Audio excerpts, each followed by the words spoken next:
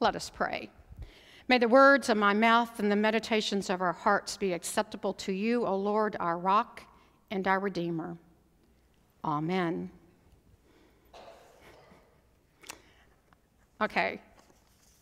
For someone who's not very prepared, and that's me that I'm talking about, I just have to let you know, Forrest, you need to pay attention. I came prepared because I thought Forrest was going to do some jokes. So I had a couple of jokes for you to go against Forrest jokes. So you're just going to get my jokes this morning. So here we go. What do you call a running turkey?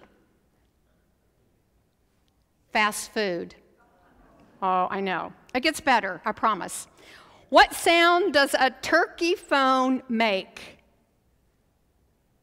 Wing, wing. I know. And last, I won't bore you with too many. Here's my last one, which is really my favorite. Why did the turkey cross the road? Any, any guesses? It was the chicken's day off. I, I really, seriously, I, I do like that one.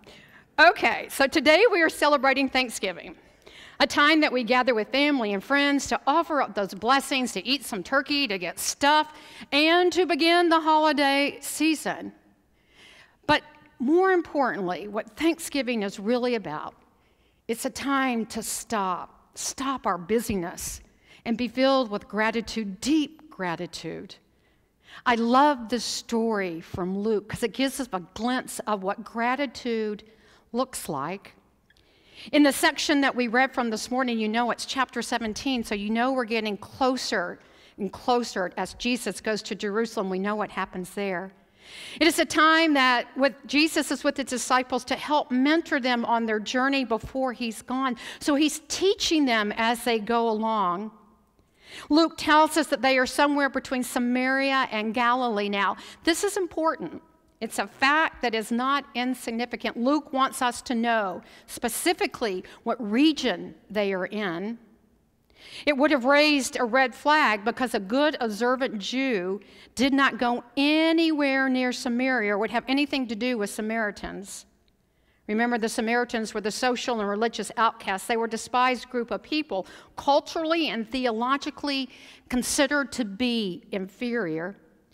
Just the mention of them would have gotten the attention of those that Jesus addressed, and not in a good way. As Jesus' disciples get near the village, ten men come out and meet him and call out to him keeping their distance because they are lepers, that means they have some kind of form of skin disease, and therefore they were quarantined and kept away from everyone else. They said, Jesus, Master, have mercy on us. This captures Jesus' attention and he stops. And in the message, it says, which I love that, he stops and he takes a good look at them. Takes a good look at them. He gets their attention, and Jesus stops and he looks at them. And he notices who they are and where they are. He sees what they look like. He sees them really sees them. And he understands and he grasps the predicament and he emphasizes with their agony. And in some way, I think he validates their humanity, their worthiness, and at that instant, he chooses to heal them and he sends them off to the priest. Now, it hasn't said that they've been healed, it is as they go that they find out that they have been healed. And on the way, one of the lepers, realizing what has happened, that they have been healed, turns around and with gratitude, instead of following Jesus' instruction, races back to Jesus, throws himself at Jesus' feet, and starts loudly proclaiming and shouting God's praises.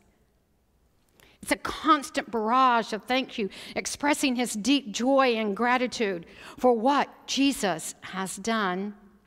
I've thought about this scene as you might expect um, or think about it. Can you imagine Jesus there and this man coming and just throwing himself at his feet? It's one of those kind of moments, a happy moment, and I thought it was something you might expect to see on the Hallmark channel.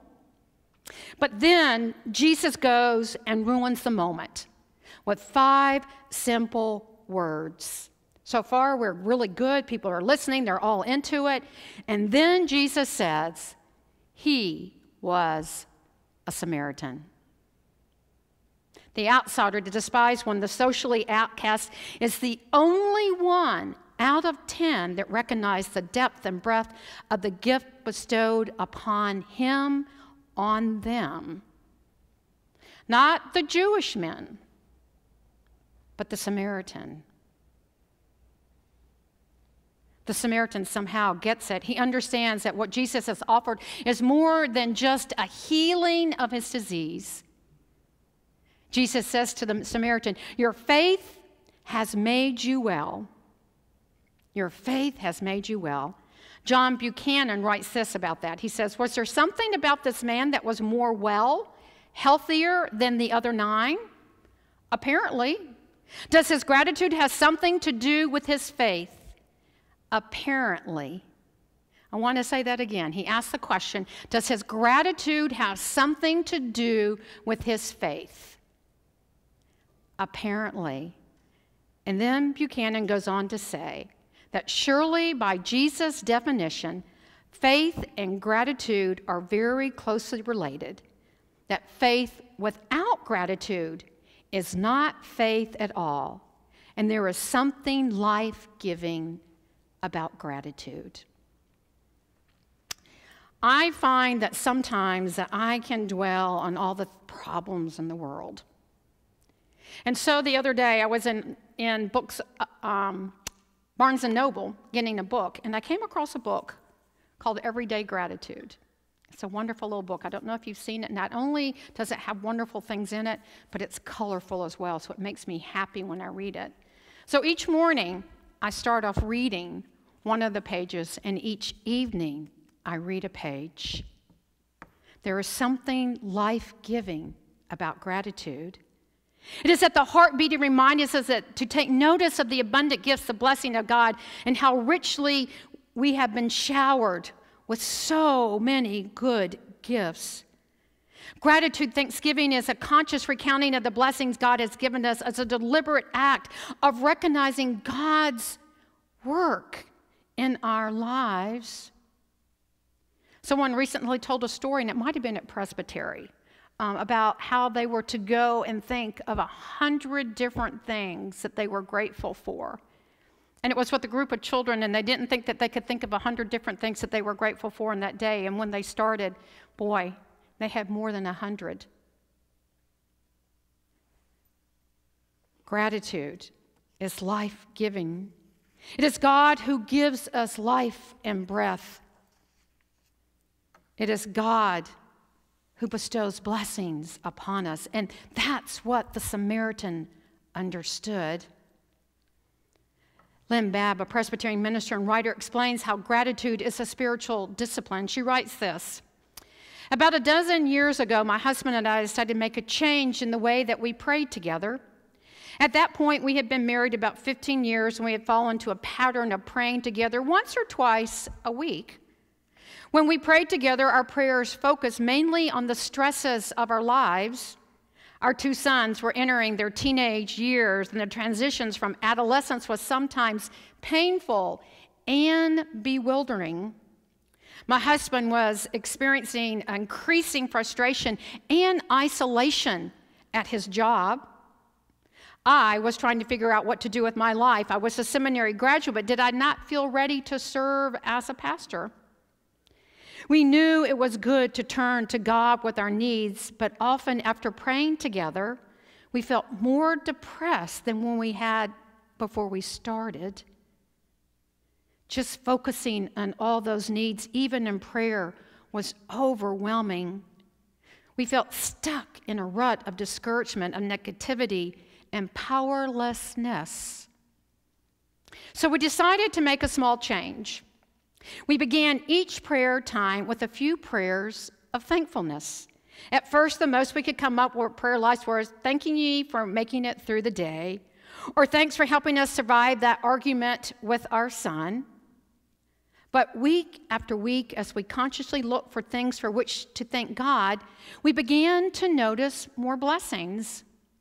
We began to thank God for the food on our table, for our home, for the love we had always had for each other, for those good moments that we had with our sons, for our church, our friends, for the flowers at springtime, the blue skies of the summer, the joy of exercising. As the years went by, we began to notice even smaller things that we were thankful for a hug, a touch, a delicious meal, the wind in the trees, a break of sunshine after a long rainy spell. Over the years, I found that my own personal prayers were changing. I was much more likely to thank God for the blessings in my life. In fact, I began to notice them even more.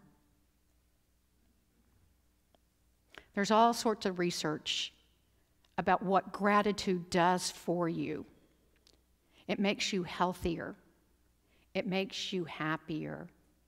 People who are grateful live longer, are less stressed, are able to see the beauty around them even when that dark cloud wants to come. When we intentionally practice gratitude, let me tell you, your life will change. When we intentionally practice gratitude, our focus shifts and we were able to see abundance and not want. We are filled with hope and not despair. The smallest things will bring us pleasure and our cups will overflow. Being grateful changes what we see, who we see, and who we are. Gratitude and thanksgiving moves us beyond the standard, the acceptable, the ordinary. A gracious attitude and lifestyle makes our life extraordinary, beautiful, unusual, and blessed. So, as I close, let me read today what my little saying came up with gratitude. To speak gratitude is courteous and pleasant. To enact gratitude is generous and noble. But to live gratitude is to touch heaven. May you touch heaven in your life. Amen. Let us pray. O gracious and holy Lord, we do indeed give you thanks for all that you have given us. We do indeed give you thanks for this day. We give you thanks for the opportunities that await us. We give you thanks for the miracles, those aha moments. We give you thanks for your grace and peace and mercy, forgiveness and love. We give you thanks for the abundance that we have been blessed with. In your Son's name do we pray. Amen.